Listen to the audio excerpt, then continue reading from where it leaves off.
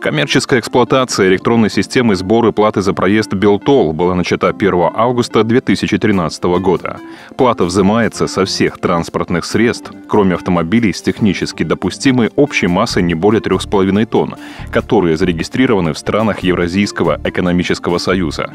На новом этапе расширения сеть платных дорог дополнится тремя участками и составит 1726 километров. С 1 декабря 2018 года в соответствии с планом развития сети платных дорог вводятся в эксплуатацию новые участки. Трасса Р-28 с 12 по 32 километр, трасса М6, которая идет на Гродно, с 57 по 134 и со 196 по 212. Пользователи платят за качество. В категорию платных переводятся дороги, которые подверглись реконструкции.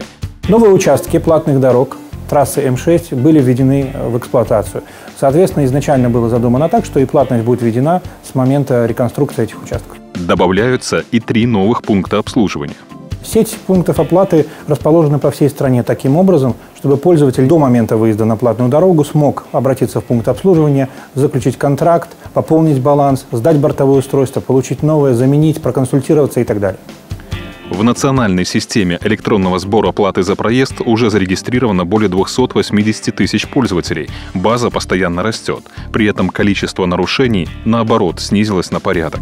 В 2013 году количество нарушений к общему числу э, успешных транзакций составляло 0,74%. Сейчас это в 10 раз меньше движении по платным дорогам нужно не забыть заехать на пункт обслуживания до выезда на платную дорогу, заключить контракт или пополнить баланс и иметь бортовое устройство во все моменты движения по платной дороге.